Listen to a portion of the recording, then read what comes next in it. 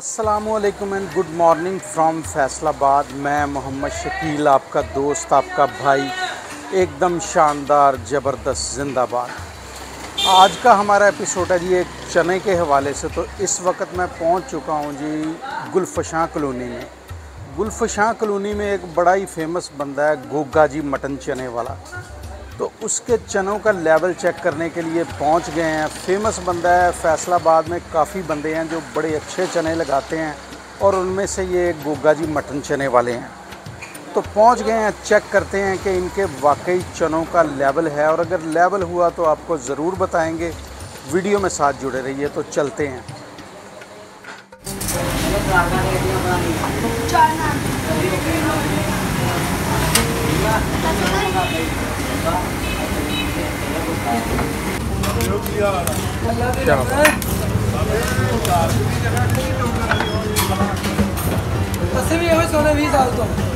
शादी चने लाना जरा। जरा ता करके दिखाओ थोड़ा ये हैं? जरा इन्हों रंग रोग नज़र आवे। क्या बात। अच्छा परली देख च की हली वो भी जरा लैवल दिखा मैं उधरों की घूम के आना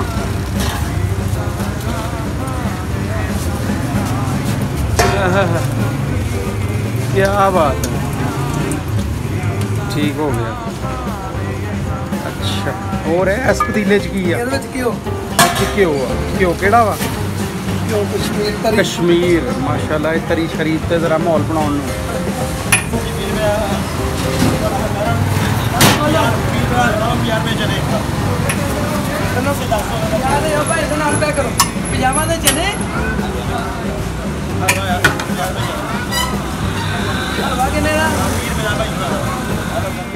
असल में नहीं, यहाँ पे इतना सुबह का टाइम है, मैं काफ़ी जल्दी आ गया हूँ। ये ज़रा इलाके में लोग ज़रा सुबह सवेरे कम ही उठते हैं, ज़रा मुझे जल्दी थी, मैं पहुँच गया हूँ खाने और चेक करने और आपको रिव्यू देने के लिए।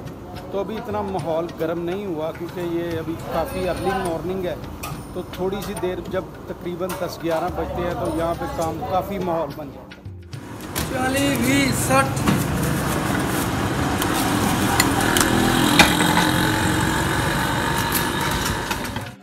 जी, अल्हम्दुलिल्लाह, ये हमारे पास चने पहुँच चुके हैं। चने का ज़रा आप लेवल चेक करें।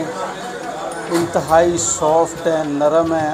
आयल भी इन पर पूरा दबल नज़र आ रहा है और पूरी अपनी सॉफ्टनेस में है। इसके साथ इन्होंने हमें जी ये दी है जी, धनिए का ऊपर इन्होंने लगाया हुआ है। टांका साथ में हरी मिर्च भी डाली हुई है। ये ज़रा चेक करें। यानी देखने में तो वाकई काफ़ी मक्खन है और कमाल की आइटम है। इसके साथ इन्होंने हमें दिया है जी ये दही का रायता है। इसमें इन्होंने वो हरी मिर्च वगैरह का टांका लगाया हुआ है। साथ में बंद गोभी है और खीरे शीरे डाले हुए हैं। ये ज़रा चेक करें। और हमेशा की तरह ये मोहब्बत में हमें इन्होंने नान लगा के दिया है। नान भी अपने पूरे लेवल में है। ये ज़रा चेक करें। तो मज़ीद खा के चेक करते हैं। यहाँ पे काफ़ी हैवी किस्म का माहौल है।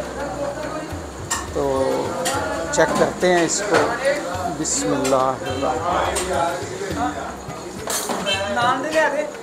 ये आपको आवाज़ें आ रही होंगी कि मेरे इर्द गिर्द जो है ना पूरा माहौल बना हुआ है। ये ज़रा चेक करें। ये हमने ज़रा पहली बाइट बनाई है।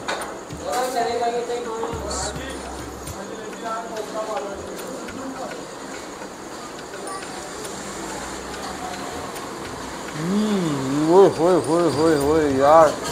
वाकई, कमाल है यार। मैंने बहुत सारी जगहों पे चने खाए हुए हैं, लेकिन इनका वाकई लेवल है। अब ज़रा ये दूसरी बाइट ये चने शने डाल के, हरी मिर्च डाल के ऊपर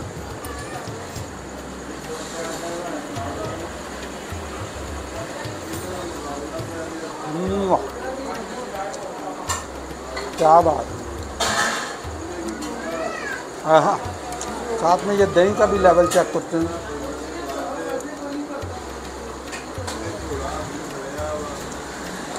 वाकई यार, गोगा मटन चने, वाकई चने हैं इनके। लाइट हैं, इतने तेज़ नहीं हैं। महसूस नहीं हो रहा। है पूरे वज़न में है। ये ज़रा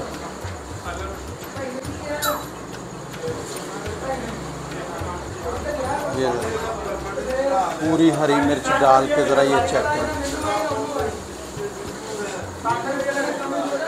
अलैक्म जी वालेकुम अस्सलाम ਸਰ ਕੀ ਨਾਮ ਹੈ ਆਪਣਾ ਮੁਹੰਮਦ ਜਮੀਲ ਮੁਹੰਮਦ ਜਮੀਲ ਤੇ ਗੋਗਾ ਜੀ ਮਟਨ ਚਨੇ ਕੌਣ ਨੇ? ਮੇਰਾ ਵੱਡਾ ਭਾਈ ਵੱਡਾ ਭਾਈ ਕਿੰਨੀਆਂ ਸ਼ਾਖਾ ਆਪਣੀਆਂ ਸਾਡਾ ਮਾਸ਼ਾ ਆਪਣੀਆਂ ਫੈਸਲਾਬਾਦ ਚ ਸੱਤ ਹੈ।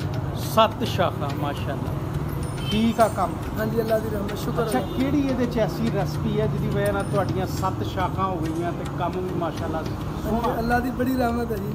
ਨਹੀਂ ਕੀ ਇਹਦੇ ਚ ਰੈਸਪੀ ਕੀ ਹੈ? ਕੁਦਰਤ ਵਾਲੇ ਦੇ ਨਿਜ਼ਾਮ ਹੈ ਜੀ ਸਾਡਾ ਵਿੱਚ ਕੋਈ ਨਹੀਂ। ਨਿਜ਼ਾਮ ਤੇ ਕੁਦਰਤ ਦਾ ਹੀ ਆ।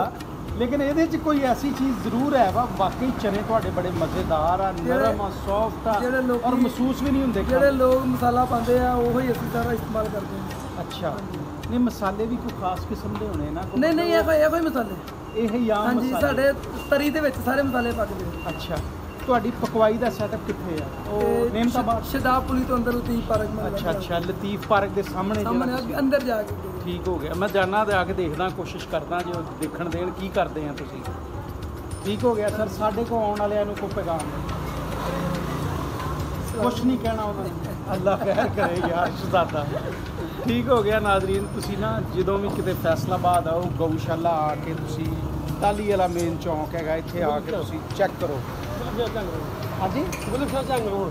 ਗੁਲਫਸ਼ਾਹ ਚੰਗ ਰੋਡ ਅੱਛਾ। ਅਲੀ ਹੁਸਨ ਕਲੋਨੀ ਅਲੀ ਹਾਊਸਿੰਗ ਕਲੋਨੀ ਇਹ ਟਾਲੀ ਚੌਂਕ ਟਾਹਲੀ ਚੌਂਕ ਹੈ। ਟਾਲੀ ਚੌਂਕ ਦੀ ਨੁੱਕਰ ਤੇ ਹੀ ਦੇ ਠੀਕ ਹੋ ਗਿਆ। ਤੁਸੀਂ ਸੁਣ ਲਿਆ ਹੋਣਾ ਬਜ਼ੁਰਗਾਂ ਕੋ ਤੇ ਇਨਸ਼ਾਅੱਲਾ ਪਹੁੰਚੋ ਚੈੱਕ ਕਰੋ ਵਾਕਈ ਮਜ਼ੇਦਾਰ। ਅੱਛਾ ਉਹ ਚਨਿਆਂ ਦੀ ਪਕਵਾਈ ਕਿੰਨੇ ਵਜੇ ਹੁੰਦੀ ਆ? ਸਰ ਉਹ ਸ਼ਾਮੀ 3 ਵਜੇ ਤੋਂ ਬਾਅਦ ਹੋਏ 3 3:30 ਵਜੇ ਤੋਂ 4 ਅੱਛਾ ਵਜੇ ਇਸ ਟਾਈਮ ਸਵੇਰ ਕੁਛ ਨਹੀਂ। ਇਸ ਟਾਈਮ ਹੁਣ ਸੁੱਤੇ ਬੱਚੇ ਕੰਮ ਕੁਮ ਕਰ ਰਹੇ ਹੁੰਦੇ ਅੱਛਾ ਰਾਤ ਸਾਰੀ ਪਕਾਉਂਦੇ ਨਹੀਂ 10 ਵਜੇ ਫ਼ਰਕ 10 10:30 ਵਜੇ ਪਕਾ ਕੇ ਰੱਖ ਦਈਦੇ ਸ਼ਾਮ 5-6 ਵਜੇ ਸ਼ੁਰੂ ਕਰਦੇ। ਸ਼ਾਮੀ 4 5 ਵਜੇ ਸ਼ੁਰੂ ਕਰਦੇ 4-5 ਵਜੇ। ਚਲੋ ਠੀਕ ਹੋ ਗਿਆ 10 ਵਜੇ ਇਨਸ਼ਾਅੱਲਾ। ਤਿਆਰੀ ਹੋ ਜਾਂਦੀ ਹੈ। ਠੀਕ ਹੋ ਉਸ ਤੋਂ ਬਾਅਦ ਫਿਰ ਸਵੇਰ ਨੂੰ 3 ਵਜੇ ਉੱਠੀਦਾ।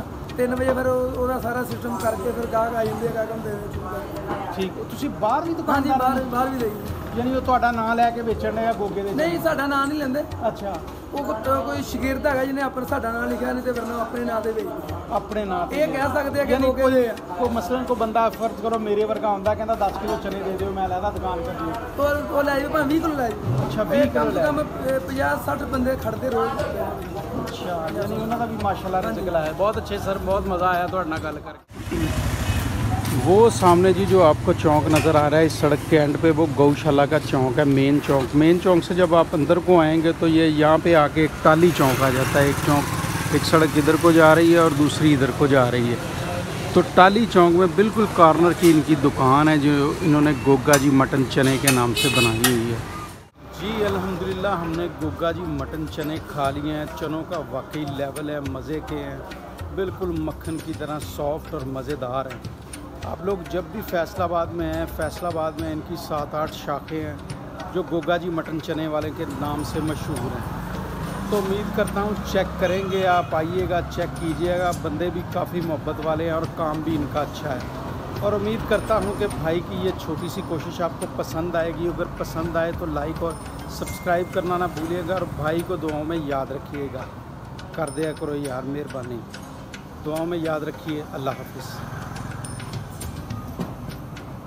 हाँ वो एक बात नहीं कही है पाकिस्तान जिंदाबाद।